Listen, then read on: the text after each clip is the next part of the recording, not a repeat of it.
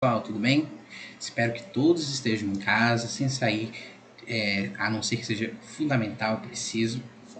Nós da Escola Jardim do Éden, nós decidimos continuar com o, o conteúdo exatamente para não prejudicar vocês, ainda mais que ainda estamos em ano de vestibular, então é, nós precisamos manter o ritmo, beleza? Peço a vocês bastante disciplina para estudar, sentar, ouvir as videoaulas, fazer as anotações, que assim que possível eu vou tirar todas as suas dúvidas.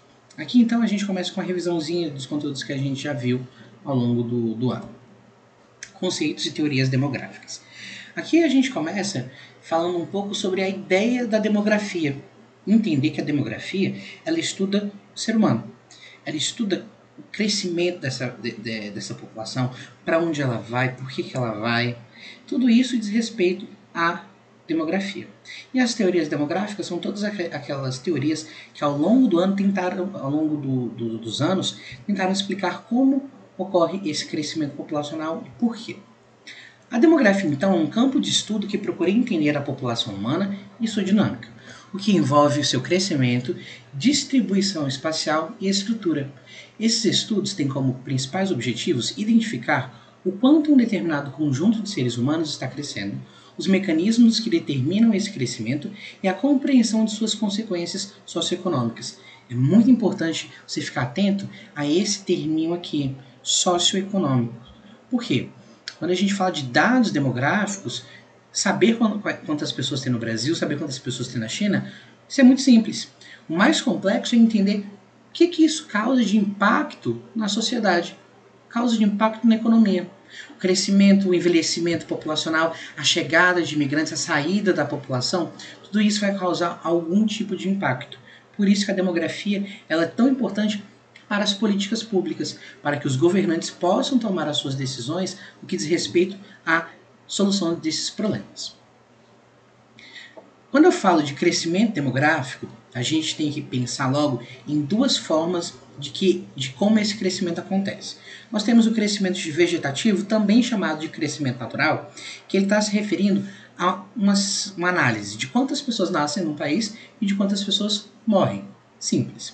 Já o saldo migratório, ele está associado a quantas pessoas entram e quantas pessoas saem de determinado país. Pensa aqui comigo é, no caso da Alemanha. A Alemanha é um país que recebe uma quantidade de refugiados imensa faz muito tempo. Então, o tipo de política pública que é adotada pelo país precisa levar em consideração tanto as pessoas que nascem, tanto as pessoas que morrem e também essas pessoas que entram no país, porque o Estado ele vai ter que é, fornecer para essas pessoas emprego, escola, saúde. Então tudo isso precisa ser levado em consideração ao analisarmos o que vai ser feito pelo país. Outro conceito importante e muito útil para analisarmos o crescimento demográfico é a taxa de fecundidade, que expressa o número médio de filhos por mulher em idade fértil. Aqui então, a gente tem que levar em consideração também a média de filhos que as mulheres têm. É interessante nós lembrarmos que há 100, 200 anos, o papel da mulher, a taxa de fecundidade, era muito diferente. As mulheres tinham mais filhos, as mulheres trabalhavam menos no aspecto de trabalho formal, é, e hoje em dia isso mudou. Hoje em dia as mulheres cada vez é, mais querem ter a sua independência e muitas vezes está atrelada a uma redução na quantidade de filhos. Então aqui a gente tem o seguinte: se tiver mais de dois filhos, a população provavelmente ainda está crescendo. A partir do momento em que uma mulher passa a ter menos de dois filhos, isso vai levar provavelmente a uma diminuição da população, tanto a médio e a longo prazo. No Brasil, a partir da década de, é, de 2050 até 2060, nós vamos ter uma queda da população brasileira. Dá uma analisadinha aqui nesse gráfico. Hoje em dia, a média de filhos no Brasil é de 1,7,3 filhos por mulher. Professor, é um filho e meio? Mais ou menos isso, porque é dado estatístico, ok? As teorias demográficas nós temos três teorias mais importantes quando a gente está falando de é, expectativas do crescimento ou da redução de, de pessoas. A teoria malthusiana, a teoria neomalthusiana e a teoria reformista. A teoria malthusiana ela foi criada por esse cara aqui, Robert Malthus, lá em 1798, do século XVIII, que ele defendia que a população ia crescer muito mais é, do que a capacidade de produtiva de alimentos. Para a gente entender muito claramente a ideia do Malthus, a gente tem que falar um pouquinho sobre quem ele era. Malthus ele era um pastor. E isso vai ter vai estar atrelado à ideia dele de qual que seria a solução para esse problema. Malthus vai pregar um, um, aspecto moral do ser humano.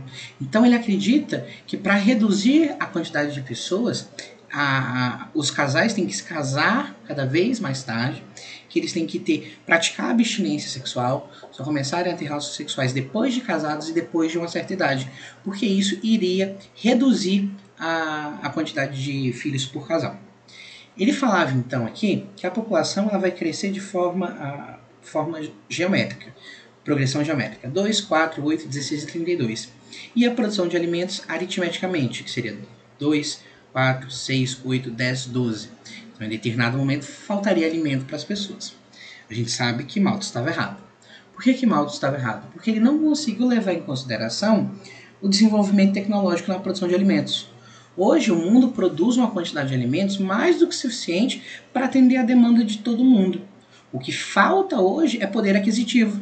Se uma pessoa ela passa fome, não é porque ela não tem comida disponível, porque ela não tem dinheiro para comprar essa comida. A teoria neomalthusiana ela vai ser desenvolvida no século XX e vai ser mais ou menos uma teoria malthusiana 2.0. Eles não vão estar mais preocupados tanto com a questão apenas dos alimentos, mas de recursos em geral. Pensa aqui comigo. Nós utilizamos petróleo, nós utilizamos alumínio, ferro, ouro em diversos produtos que nós utilizamos no nosso dia a dia. Quanto mais nós consumimos, mais esses produtos vão utilizar essa matéria-prima. Essa falta de matéria-prima, essa falta de recursos, também levaria à pobreza e à miséria. A teoria neomalthusiana, no entanto, não tem a, a questão da, da abstinência sexual como fator principal para reduzir o crescimento populacional. Na visão deles, os métodos contraceptivos, como a camisinha, o DIU, o pílula do dia seguinte, são ótimos para fazer o quê? Para tentar reduzir a questão do crescimento populacional. A outra teoria que a gente fala, que a gente tem que entender, é a teoria reformista. A teoria reformista, também chamada de teoria marxista, ele foge bastante das outras duas teorias. Eles vão afirmar que para resolver a questão populacional, eu preciso melhorar a vida das pessoas, o social, ele acredita que a desigualdade social é um problema muito grande. Então, se eu reduzo essa desigualdade social, se eu forneço para as pessoas uma educação melhor, uma saúde melhor, automaticamente o controle desse crescimento populacional vai ser efetivo. Então, o problema para a teoria reformista, para a teoria marxista, é exatamente a desigualdade social. Resolvendo a desigualdade social, eu consigo resolver o problema da superpopulação. Pessoal, então é isso. Anotem suas dúvidas. Espero que tenha ficado tudo bem claro. Nós já vimos todo esse assunto em sala, mas é só para dar uma relembrada. Um abraço para vocês, até a próxima.